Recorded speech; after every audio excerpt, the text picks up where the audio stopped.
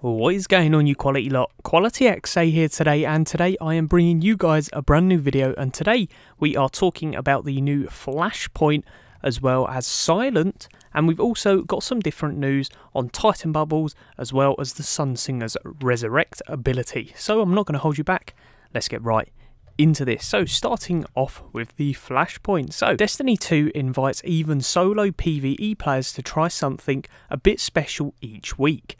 Destiny 2 introduces a couple of new activity types, including the one we're hearing about for the first time this week.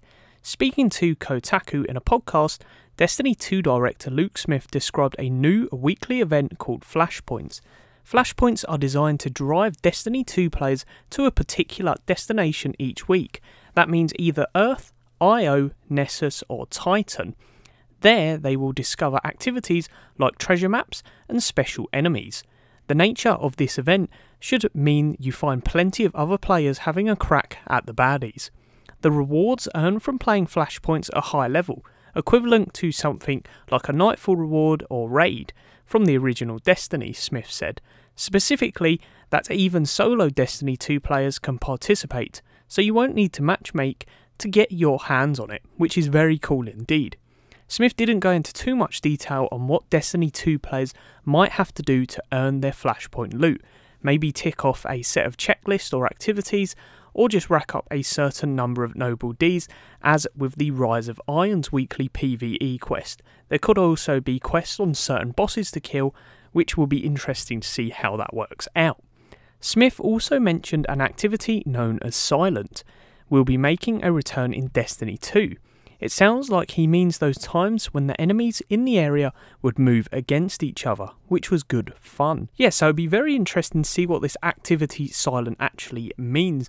Like they said, it was move against each other, so it could be such as a little challenge mode where you have to fight different types of enemies that are also trying to kill each other, which sounds pretty awesome indeed. But regardless, Flashpoint does sound like an awesome weekly game mode where we can earn some epic, epic loot hopefully some exotics are going in with that bunch of loot. Very cool indeed. Now we're talking about Titan Bubbles, and this is an interview with another Bungie staff member. So, this was the question Are Titan Bubbles still in the game? Yes, everyone thought they were gone for a while. I thought they were gone too. And I think that the Titan Bubble has this amazing property of it's like a mistake you can put in the world, or something amazing you can put in the world as a player. And it's like you're physically altering the gameplay space in a way that I think is pretty exciting.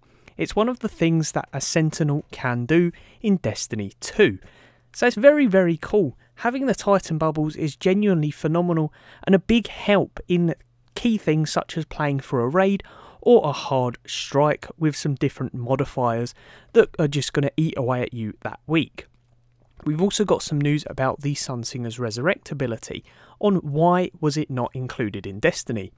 Because I think that the challenge of choosing when to resurrect is not as interesting because it ends up your super bar is always full, waiting is not gameplay.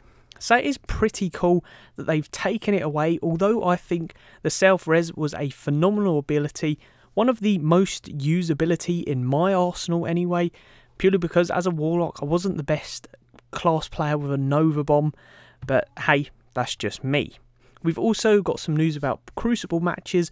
Will they come out with private matches at launch? We know that they will not, unfortunately which sucks because obviously Destiny 1 had private matches, so taking that feature away is a bit weird, but they do say it will not be available at launch, so I can imagine a little way through the game, that is when we will get it. So very, very cool indeed. And yeah, just a little bit more news on the ranked PvP. As you guys know, there was some mention of ranked PvP in some interviews, but we have a good answer here. We're not doing ranked PvP. We're seven, eight weeks away from finishing. We have an idea of something we might do. I don't want to commit to it here because I'm not sure it's going to happen. If we don't get it for September the 6th, there'll be something, some way of players showing off their prowess to other players, which is ultimately what a ranking system is. We're working on something. So pretty cool. I do hope that they have ranked PvP. Personally, I'm a competitive player versus player, and um, I, I do enjoy playing the Crucible.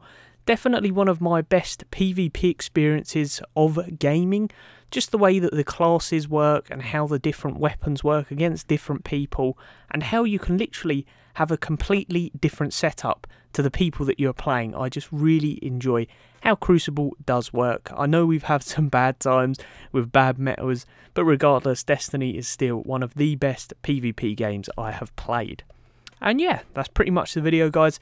If you did enjoy, please do leave a like on this video. 50 likes would be much appreciated.